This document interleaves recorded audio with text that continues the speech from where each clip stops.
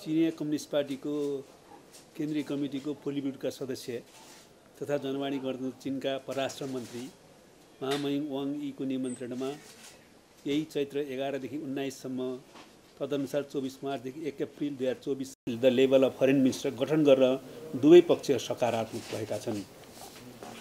बेल्टाइन road इनिसिएटिभको कार्यान्वयन योजना BRI implementation प्लानलाई अन्तिम रूप दिई कार्यान्वयन गर्नेबारे छलफल भएको छ। चार।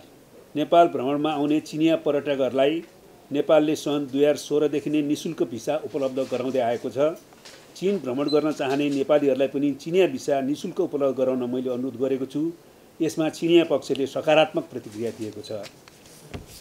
नेपालको महत्त्वपूर्ण तथा विश्वसनीय विकास साझेदारको रूपमा रहेको मित्रराष्ट्र चिनले नेपाललाई थप गुणात्मक सहयोग उपलब्ध गराउने प्रतिबद्धता व्यक्त गरेको छ।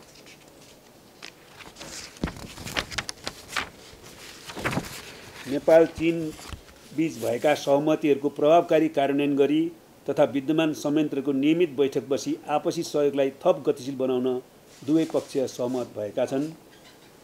सन् दुई हजार बाह्रमा नेपाल चिनबिच हस्ताक्षर भएको agreement on trans frontier pasturing by border border इन्भाइटेन inhabitants बमोजिम सीमा क्षेत्रमा बसोबास गर्ने नेपालीहरूलाई चिनको तिब्बत स्वशासित क्षेत्रमा चरणभूमि प्रयोग गर्न दिन र सीमावर्ती केही नेपाली गाउँहरूमा विद्युतीकरण गर्न चिनिया पक्ष सकारात्मक भएको छ।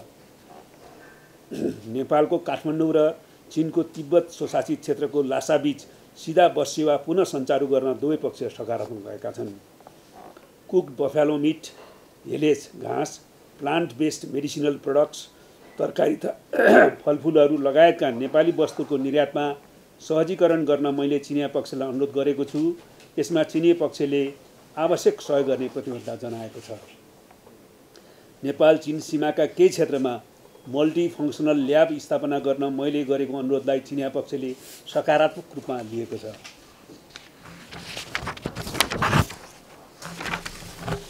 नेपालको कृषि क्षेत्र उत्पादकत्व बढाउनका लागि आवश्यक पुँजी र प्रविधि उपलब्ध गराउन चिनिया पक्ष सकारात्मक रहेको छ।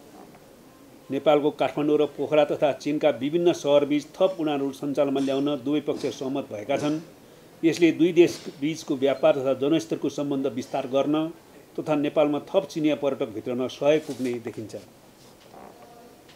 आगामी अठाइस उन्तिस अप्रिल दुई हजार चौबिसमा काठमाडौँमा आयोजना हुने तेस्रो नेपाल लगानी सम्मेलनमा सरकारी तथा निजी क्षेत्रका चिनिया लगानीकर्ताहरूको बढीभन्दा बढी सहभागिताको लागि अनुरोध गरेको छु। यसमा उच्चस्तरीय चिनिया नेतृत्वले उक्त सम्मेलनमा सहभागिताको लागि चिनिया लगानीकर्ताहरूलाई प्रोत्साहन गर्ने प्रतिबद्धता व्यक्त गरेको छ। साथै बेजिङ स्थित नेपाली दूतावासले छब्बिस मार्च दुई हजार चौमा चौधमा चौबिसमा आयोजना गरेको प्रि इन्भेस्टमेन्ट समिटलाई समेत सम्बोधन गरी चिनिया लगानीकर्ताहरूलाई नेपालमा लगानी गर्न अनुरोध गरेको छु। चिनमा नेपाल भ्रमण भ्रमण वर्ष दुई हजार पच्चिसलाई सफलतापूर्वक मनाउन दुई देशका सम्बन्धित निकायहरूले मिलेर काम गर्ने सहमति भएको छ।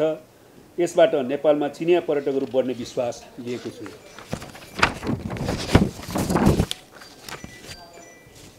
अन्तर्देशीय सडक रेलवे हवाई उडान विद्युत प्रसारण लाइन आदिको विस्तार गरी नेपाल चिन बिचको कनेक्टिभिटीलाई थप विस्तार गर्न दुवै पक्षले तत्परता देखाएका छन्।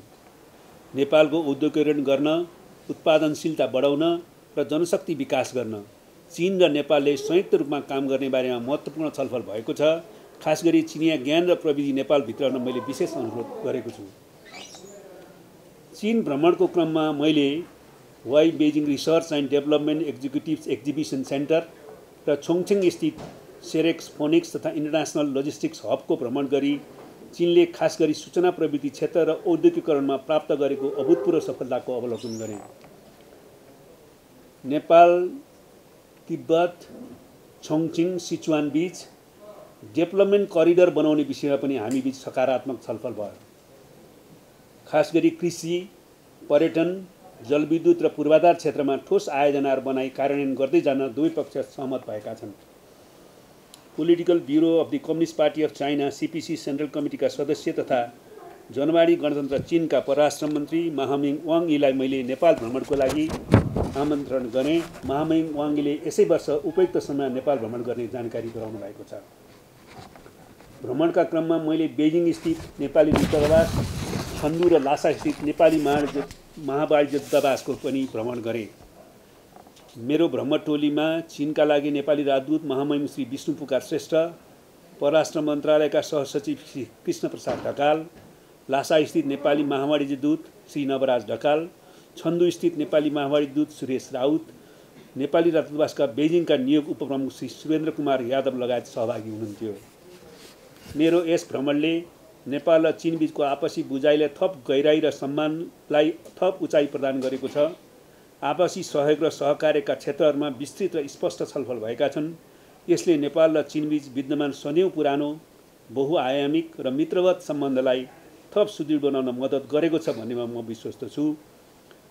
मेरो चिन भ्रमणको समाचारलाई प्राथमिकताका साथ प्रचार प्रसार गर्नुभएकामा म सम्पूर्ण सञ्चारकर्मी मित्रहरूलाई धन्यवाद दिन चाहन्छु। अन्तमा सचिवज्यूले भनेअनुसार तपाईँहरूको केही भ्रमण सम्बन्धी जिज्ञासा भए राख्नुहोला।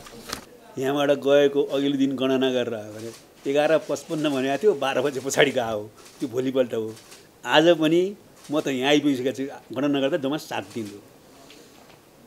विदेश मन्त्रीहरूले परराष्ट्र मन्त्रीहरूले विश्वमा पनि देख्नुभयो भने आफ्नो देशमा बसेर काम कम बाहिर बसेर बढी काम गर्नुपर्छ। कारण यो मेरो भ्रमण पनि अत्यन्तै उपलब्धिमूलक भएको छ। किनभने यो बारेमा मैले यसपटक दुईवटा देशको बिच को गहिरो परम्परागत असल छिमेकी सम्बन्धलाई सुदृढ बनाउने त भूमिका खेल्ने नै भयौँ। त्यसको अतिरिक्त यो भ्रमणको खास उद्देश्य छ। त्यो उद्देश्य भनेको नेपाल अहिले आर्थिक समृद्धिको राष्ट्रिय कार्यभारलाई प्रमुख कार्यभार बनाएको केन्द्रीय कार्यभार बनाएको अवस्था छ। त्यसको लागि हामीले हर उपायहरूको खोजी गर्नु जरुरी छ। हामीले बसिरहेर विकास भएन मात्रै भनेर भएन। हामीले आन्तरिक साथ शोधन साथलाई साधन स्रोतलाई पनि बढाउने कसरी परिचालन कसरी गर्ने बाह्य सहयोग र चाहिँ लगानी पनि कसरी भित्राउने भन्ने बारेमा पनि सोच्नु छ त्यसमा यसपालि मेरो मुख्य ध्यान पहिलो अघि भनेको विषयको अतिरिक्त नेपालको अहिलेको केन्द्रीय कार्यभार आर्थिक विकास र समृद्धिमा चिन र नेपालको बिचको अन्तर्क्रिया र यो परनिर्भरताको जो स्थिति छ के अरे अन्तर्निर्भरताको जो स्थिति छ त्यसलाई कसरी सुदृढ गर्ने भन्नेमा केन्द्रित रहेको छ। त्यस कारणले अहिले मैले तपाईँहरूले वक्तव्य पनि पढ्नुभयो यो केन्द्रीय सरकारसँग गरिएको हाम्रो छलफलमा क्वालिटेटिभ इन्हान्समेन्ट चाहिँ आर्थिक सहयोगमा गर्न अनुरोध गरेको छु। त्यसबाहेक चाहिँ नेपालसँग जोडेको सिजाङ अथवा टिबेट प्रदेश यतापट्टि सिजुवान र अर्को चोङचिङ सहर जो तिन करोडभन्दा बढी जनसङ्ख्याको चिनको पुरानो राजधानी सहर हो। अहिले विकासको स्तर धेरै माथि छ जहाँ एउटा पोलिट ब्युरो सदस्यले चाहिँ अहिले त्यहाँको पार्टी कमिटीको नेतृत्व गर्नुहुन्छ। यो तिनवटा चाहिँ नेपालको विकासको लागि हामीले अत्यन्तै बढी चाहिँ सम्बन्ध राखेर यसलाई चाहिँ हामीले लाभ लिँदै अगाडि बढ्छ सम्भावना हो। त्यसैले नेपाल चिनको डेभलपमेन्ट करिडरको रूपमा नेपाल टिबेट सिजुवान र छोङसिङलाई बनाउन सकियो भने हामीले धेरै उपलब्धि लिन सक्छौँ र तिनटै ठाउँमा मेरो गम्भीर छलफल भएको छ। त्यस कारणले अहिलेको इकोनोमिक डिप्लोमेसीलाई मैले केन्द्रमा राखेर यो तिनवटा प्रदेशमा छलफल गरेको हुँ। त्यस कारण यसको औचित्य हामीले चाहिँ व्यवहारबाट पुष्टि गर्न सकिने गरी काम भएको छन्। अब आगामी दिनमा हामीले यसलाई अनुगमन कसरी गर्छौँ? होइन हाम्रो छलफल कसरी अगाडि बढाउँछौँ भन्ने कुरा धेरै महत्त्वपूर्ण छ। तर नेपाल अहिले कुन फेजमा छ? भन्ने कुरा चिनिया नेताहरूलाई बुझाउन। हामीलाई आर्थिक विकास र समृद्धि हाम्रो केन्द्रीय कार्यभारको रूपमा छ। त्यसमा हामी लागि परिराखेका छौँ। तर हाम्रो मात्रै साधन स्रोतले गर्न यसमा चाहिँ केही सीमाहरू छन् समस्याहरू छन् अपर्याप्तताहरू छन्। तपाईँहरूको सहयोग चाहिन्छ। सहयोग भनेको आर्थिक ग्रान्ड एड मात्रै होइन। हामीले चाहिँ ट्रेडमा विस्तार गर्नु छ इन्भेस्टमेन्ट बढी ल्याउनु छ टुरिज्मको प्रवर्धन गर्नु छ।